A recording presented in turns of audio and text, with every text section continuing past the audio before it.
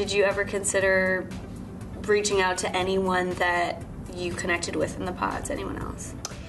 Um, yes, I actually reached out to uh, Keisha, um, and and and we we tried, we tried, but I wanted to just distance myself from all of that, uh, from that experience, and it, it just it was going to be difficult to, to try to make a relationship with Keisha, and, and I you know I I'm still to this day just very kind of like apologetic about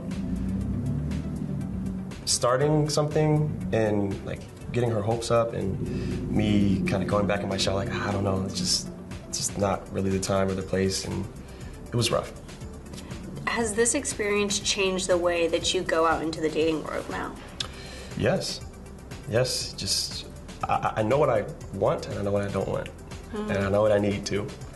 And I need someone who is very self-aware, um, someone who has emotional maturity and availability, someone who knows themselves and, and, and, knows that they uh, that, that they can have bad times and they can have great times, but it's staying with someone and figuring it out that's what makes the relationship so much more sweet. When you have the ebbs and flows, it's not going to be just peaches and cream and golden glitz and glam. It's, it's going to be rough.